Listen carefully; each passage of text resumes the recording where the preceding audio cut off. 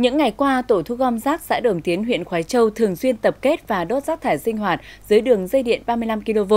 Việc làm này khiến cho xứ cách điện cao thế bị nổ vỡ, gây sự cố chập cháy. Vụ việc được xác định xảy ra trong đầu tháng 7 và tái diễn trong những ngày qua. Toàn bộ phần dây cáp điện và ba con sứ cách điện 35 kV tại cột ở phía trên bãi rác thải sinh hoạt ở thôn Kim Tháp, xã Đồng Tiến đã bị đốt cháy phần thép mạ và vỡ xứ do nhiệt độ cao. Do điểm tập kết rác thải được xã Đồng Tiến quy hoạch và xây dựng nằm dưới đường điện và ở xa khu dân cư nên việc đốt rác diễn ra nhiều lần mặc trong ngành điện có công văn nhắc nhở. Đề nghị chính quyền địa phương sớm có cái giải pháp để xử lý cái rác thải một cách triệt để.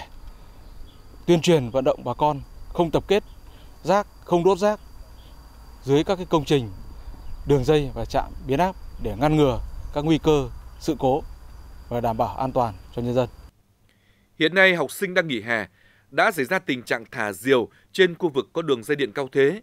Đây là hành vi được nghiêm cấm trong luật điện lực và khuyên cáo trong giáo trình giáo dục công dân, nhưng vẫn tái diễn ở một số địa phương như thị trấn Yên Mỹ, khu vực xã Ông Đình, huyện Khoái Châu.